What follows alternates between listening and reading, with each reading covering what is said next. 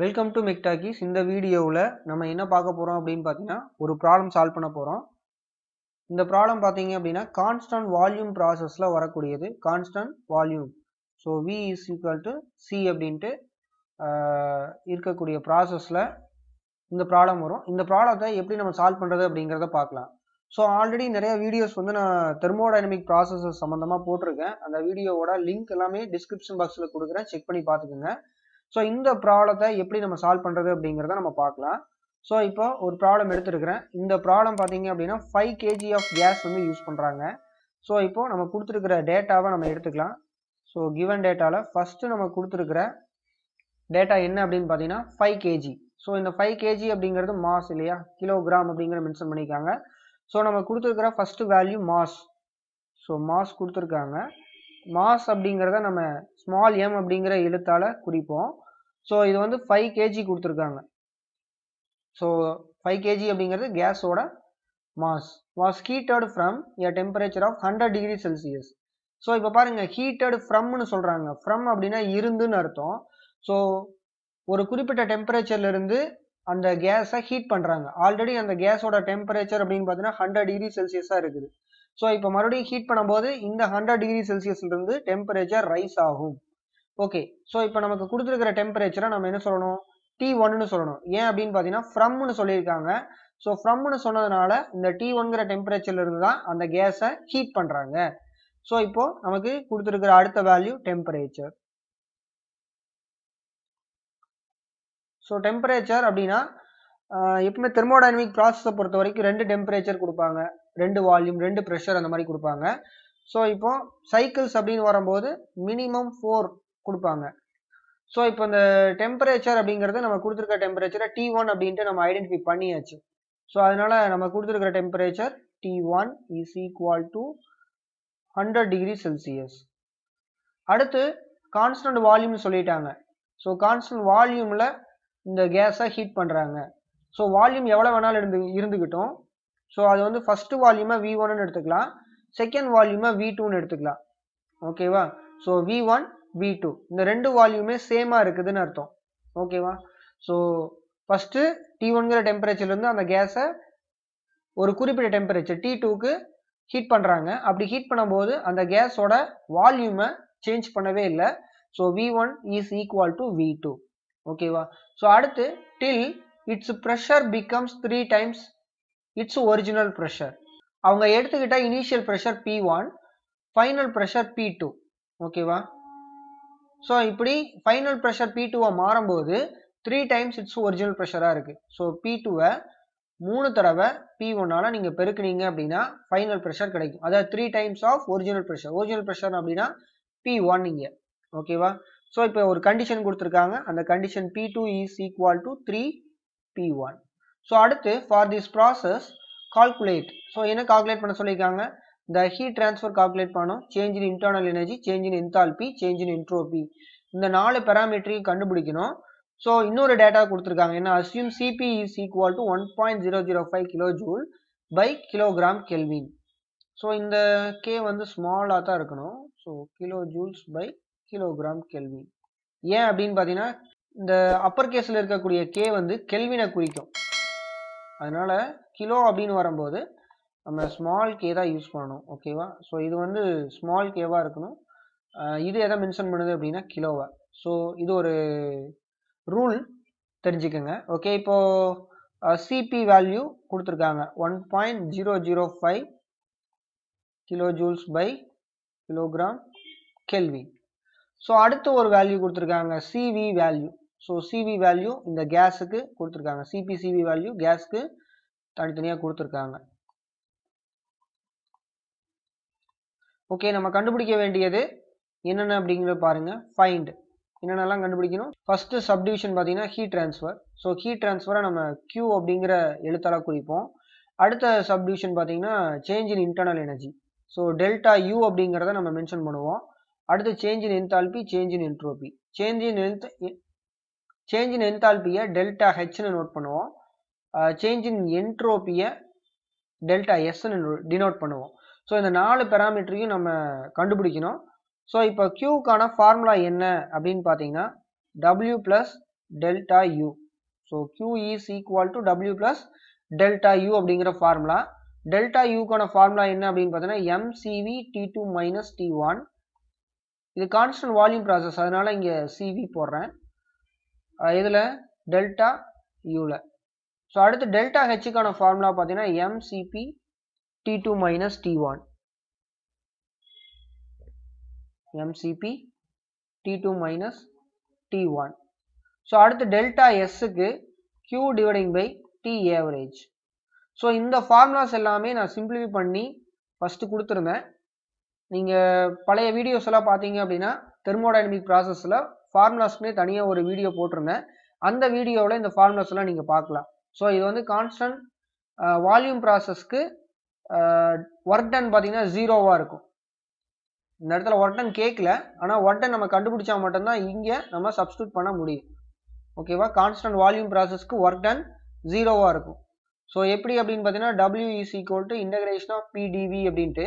So volume நம்ம கான்ஸ்டண்ட்டாக தான் வச்சிருக்கிறோம். அதனால இந்த டிவி டிஃப்ரென்ஸ் ஆஃப் வி இருக்காது. அதனால டிவி வந்து ஜீரோவாக மாறிடும் அதாவது V one is equal to V two இல்லையா? வி டூ மைனஸ் வி ஒன்னு போட்டிங்கன்னா ஜீரோவாயிரும் ஸோ அதனால டிவி வந்து ஜீரோவாயிரும் அதனால டபிள்யூ வந்து ஜீரோவாயிரும் ஸோ இப்போது இந்த கான்ஸ்டன்ட் வால்யூம் ப்ராசஸில் கியூவும் டபிள்யூ டெல்டா யூவும் சேமாக இருக்கும். கான்ஸ்டன்ட் வால்யூம் ப்ராசஸில் ஹீட் ட்ரான்ஸ்ஃபரும் சேஞ்ச் இன் இன்டர்னல் எனர்ஜியும் ஈக்குவலாக இருக்கும். ஓகே இப்போ டெல்டா யூ பார்க்கலாம். ஸோ டெல்டா யூ கண்டுபிடிக்கணும் ஃபஸ்ட்டு அப்போ தான் நம்ம கியூ கண்டுபிடிக்க முடியும். ஸோ டெல்டா யூ பார்த்தீங்கன்னா ஃபார்முலா என்னது? MCV T two minus T one இல்லையா? MCV T two minus T one இல்லையா? ஸோ இப்போ நமக்கு வந்து டி டூ வேணும் ஃபஸ்ட்டு ஸோ ஃபஸ்ட்டு ஃபைனல் டெம்பரேச்சரை நம்ம கண்டுபிடிக்கணும். ஸோ இந்த ப்ராடக்ட்டை பொறுத்த வரைக்கும் ஒர்க் டன் ஃபைனல் டெம்பரேச்சர் அதுக்கப்புறம் வால்யூம் பற்றி எதுவுமே கேட்கல ப்ரெஷர் பற்றி எதுவுமே கேட்கல. சில ப்ராடக்ட்டில் பார்த்தீங்கன்னா இதில் ஏதாவது ஒன்று ஸ்கிப் பண்ணிவிட்டு ஃபைனல் வால்யூம் ஃபைனல் ப்ரெஷர் இல்லை ஃபைனல் டெம்பரேச்சர் இந்த மாதிரி கேட்பாங்க. ஸோ அதில் ப்ரொசீஜர் உங்களுக்கு தெரிஞ்சது அப்படின்னா நீங்கள் என்ன பண்ணலாம் அப்படின்னா எந்த ப்ராப்ளம் கொடுத்தாலும் உங்களால் சால்வ் பண்ண முடியும். ஓகே இந்த ஃபார்முலாஸ் எல்லாம் நல்லா ஞாபகம் வச்சுக்கோங்க.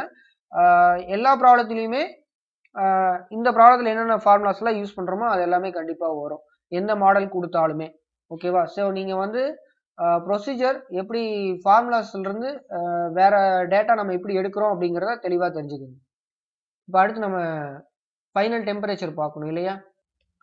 ஸோ இப்போ ஃபைனல் டெம்பரேச்சர் நமக்கு வேணும். ஸோ இப்போ நான் என்ன பண்ணுறேன் அப்படின்னா first pressure volume temperature relation எடுக்கிறேன். பிவிடி ரிலேஷன் எடுக்கிறேன். இந்த பிவிடி ரிலேஷனில் இந்த மூணு பேராமீட்டர்லேயே ஏதாவது ஒன்று கான்ஸ்டண்ட்டாக இருக்குதுன்னு சொல்லிட்டாங்க அப்படின்னா நீங்கள் எடுக்க வேண்டிய பிவிடி ரிலேஷன் பார்த்தீங்கன்னா PV by T is equal to constant அதாவது P one V one by T one is equal to P two V two by T two so இப்போ நமக்கு என்னென்ன பேராமீட்டர்லாம் இருக்குது ப்ரெஷர் பார்த்தீங்கன்னா three times of its original ப்ரெஷர்னு சொல்லியிருக்காங்க இல்லையா? So P two is equal to three P one இந்த condition சொல்லியிருக்காங்க.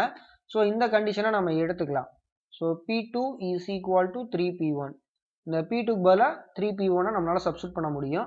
அதுக்கப்புறம் ஒரு கண்டிஷன் இருக்குது என்ன அப்படின்னு பார்த்தீங்கன்னா V one is equal to V two அப்படிங்கிறது. சரி இப்போ நம்ம இந்த பெராமீட்டர்லாம் நம்ம சப்ஸ்டியூட் பண்ணலாம். அதுக்கு முன்னாடி டி ஒன் வந்து நமக்கு தெரியும். டி ஒன் பார்த்தீங்கன்னா ஹண்ட்ரட் டிகிரி செல்சியஸ் கொடுத்துருந்தாங்க. ஸோ இந்த டிகிரி செல்சியஸை கெல்வினா மாற்றுறதுக்கு இரநூத்தி எழுபத்தி மூணால் நம்ம கூட்டணும். அப்போ நமக்கு முந்நூற்றி எழுபத்தி மூணு கெல்வின் வந்து வேல்யூ கிடைக்கும் ஸோ நம்ம ஹீட் பவரை பொறுத்த வரைக்கும் எல்லா இடத்துலையும் கெல்வின் தான் நம்ம யூஸ் பண்ணுவோம். அதனால் கெல்வினில் மாற்றி வச்சுக்கணும். ஸோ இந்த ப்ரெஷர் அதுக்கப்புறம் வால்யூம் அப்புறம் டெம்பரேச்சர் இந்த மூணு வேல்யூவும் இந்த ஃபார்முலாவில் நம்ம சப்ஸ்டியூட் பண்ணலாமா?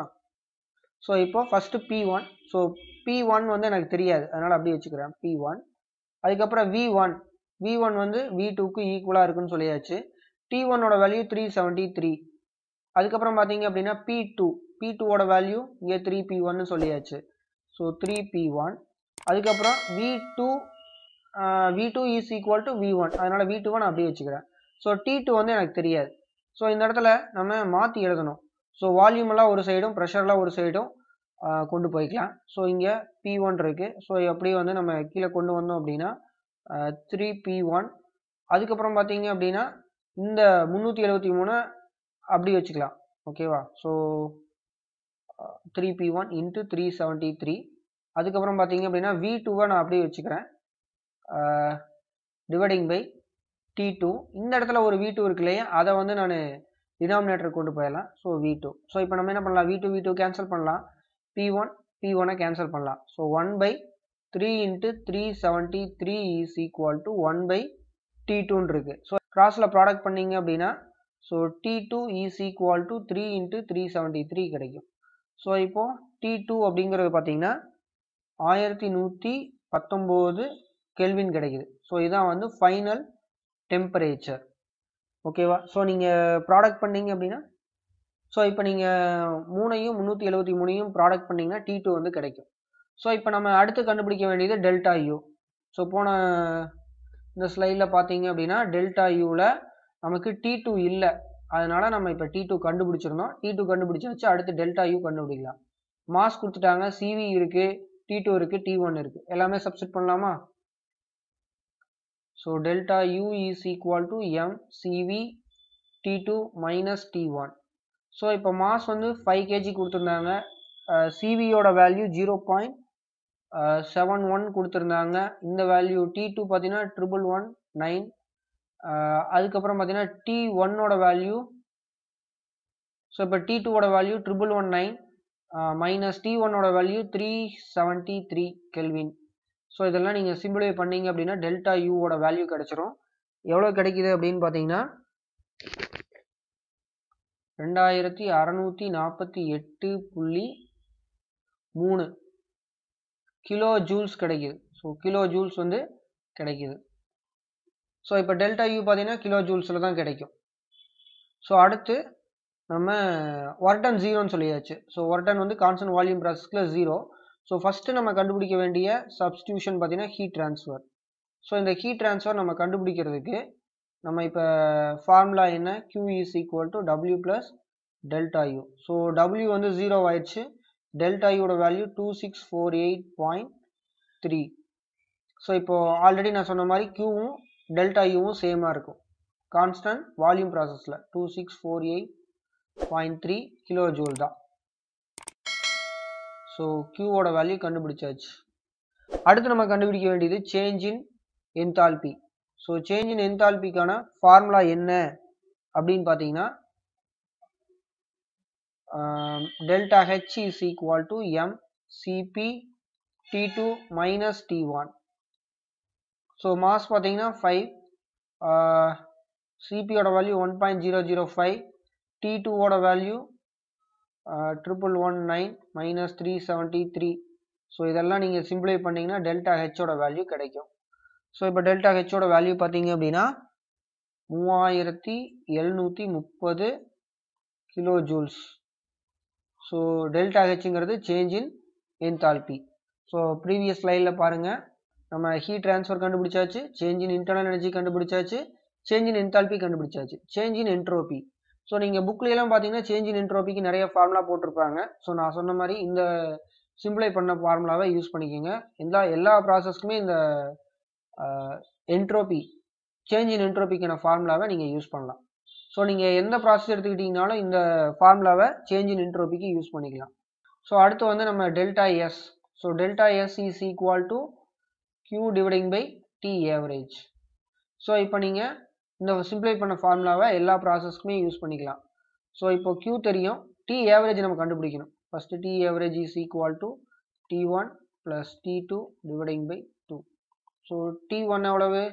முந்நூற்றி எழுபத்தி மூணு. டி டூ வந்து triple one nine so dividing by two so T average எவ்வளோ வருது அப்படின்னு பார்த்தீங்கன்னா எழுநூற்றி நாற்பத்தாறு கெல்வின் கிடைக்குது. எழுநூற்றி நாற்பத்தி ஆறு கெல்வின் கிடைக்குது. ஸோ இதை வந்து நீங்கள் சப்ஸ்டிட் பண்ணிக்கலாம். டெல்டா எஸ் ஃபார்முலாவில் கியூவோட வேல்யூ இங்கே இருக்குது so two six four eight point three dividing by T average பார்த்தீங்கன்னா எழுநூற்றி நாற்பத்தி ஆறு. ஸோ இப்போ டெல்டா எஸ் வந்து நீங்கள் சிம்பிளிஃபை பண்ணும்போது ஸோ இதை நீங்கள் சிம்பிளிஃபை பண்ணீங்க அப்படின்னா three point double five kilo joules வந்து ஆன்சர் கிடைக்கும். ஓகே ஸோ இந்த ப்ராப்ளத்தில் அவங்க கேட்டிருந்த சப்ஸ்டியூஷனில் நம்ம எல்லாமே கண்டுபிடிச்சாச்சு.